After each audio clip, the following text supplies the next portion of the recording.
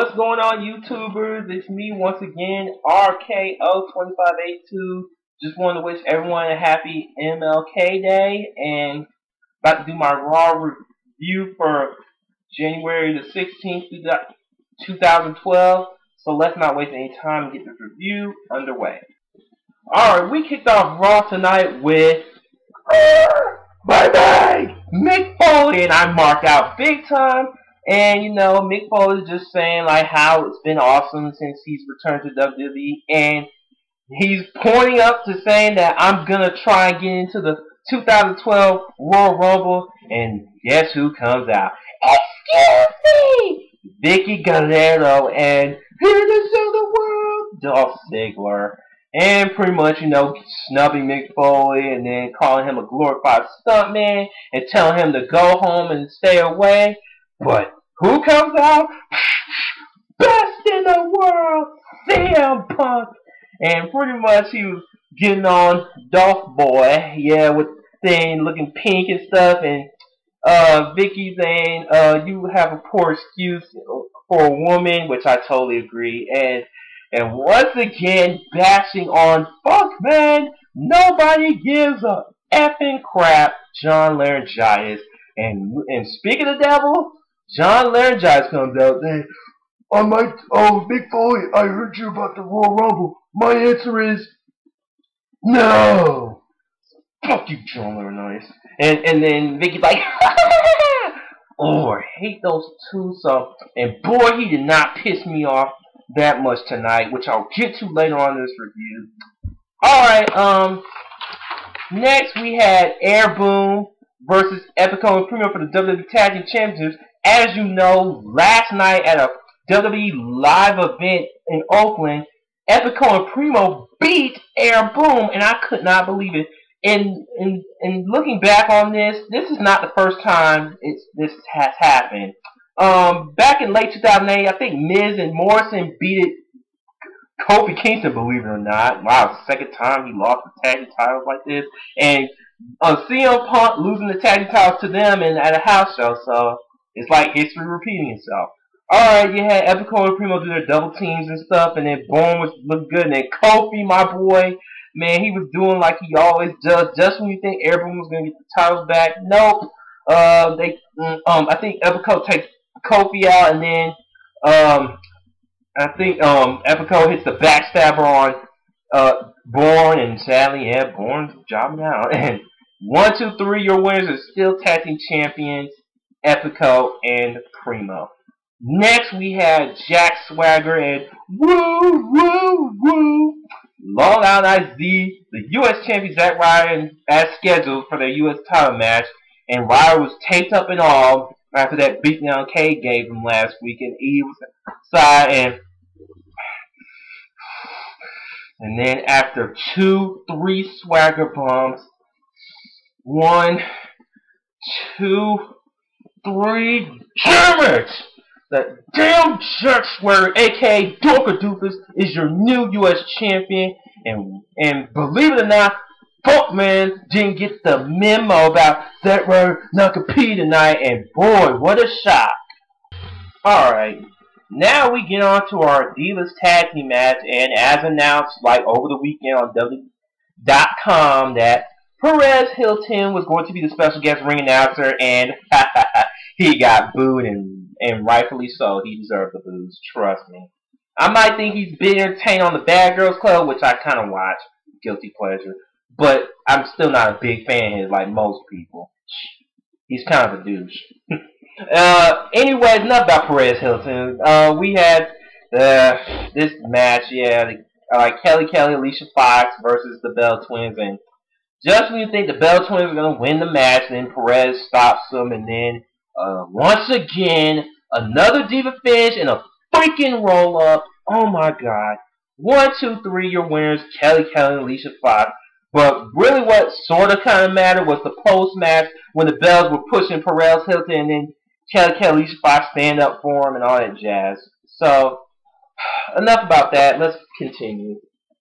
Alright, we had my boy, the truth has me free. our truth. and then just when about to speak, here comes Wade Barrett. Yeah, of course, you know, bring up once again the Royal Rumble and the Barrett Balls. And then R2 have you with a hello governor. And, and then he tell us like don't what me. Okay what me? It's hilarious. And he's like like why bear why you never been to Disneyland? It is funny man. And I'm in a real good quack quack and then Mickey and Minnie and all that jazz. And then when I told Wade Barrett that he was gonna win the role with Pinocchio Ooh, lying. And then he said, I'm going to win the Royal Rumble. And then then who comes stupid Miz jumping R2 with bear beat down? Here comes the Celtic Warrior, the great white Sheamus. And then here comes holla holla holla player Teddy Long. And I was thinking he was gonna make a tag match like everyone can't stand. But no, he makes an over the top challenge with those four competitors. And then Bear got was the first one to go after triple teaming him. And then Shane was beating up on Miz, which I totally enjoyed. And then um, Justin about to hit the Brogue kick, he misses, and then R-Truth surprisingly wins the over the top rope challenge. And Arthur I have to say is yes, R-Truth. And you gotta love MLK Day. You gotta give a brother something. You know what I'm saying? So I, I'll take that. So once again, your winner R-Truth. Then you had your new U.S. champion Dorka Doofus, Jack Swagger, going up against Cena, but the match didn't even start.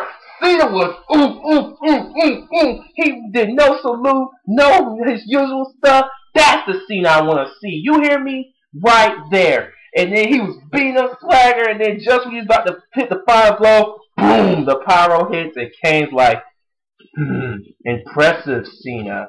He's like, now you're understanding hate. And I'm like, and I'm looking at like, did Kane get what he wanted all this time?